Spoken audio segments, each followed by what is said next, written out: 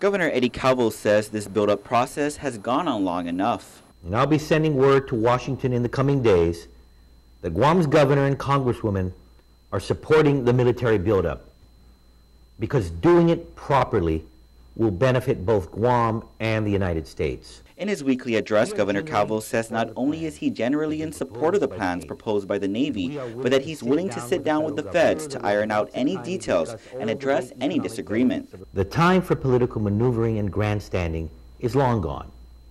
There is a plan in front of us to move that buildup forward.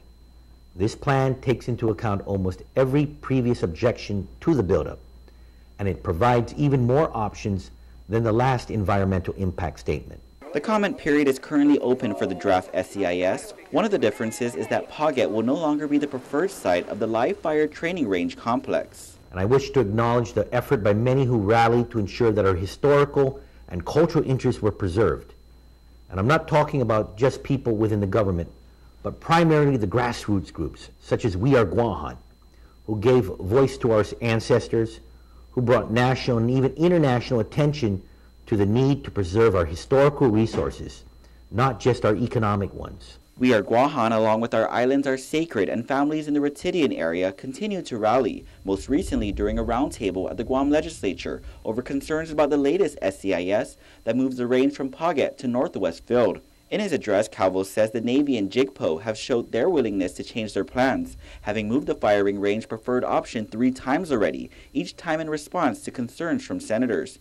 Calvo says the delay is enough, and it's time to get the buildup started. The government of Guam can show unity in its support if senators do the right thing and pass a resolution indicating what Congresswoman Bordallo and I are telling Washington, that we support the buildup. I think he has forgotten that there are three resolutions already that has been passed by uh, three different legislatures. Speaker Judy Won Pat says two of those resolutions were passed and voted upon by Governor Calvo and Lieutenant Governor Ray Tenorio when they were both senators in the Guam legislature. So I, I don't understand uh, the need again for another resolution. Those resolutions really stand until such time that uh, someone wants to uh, pull it back.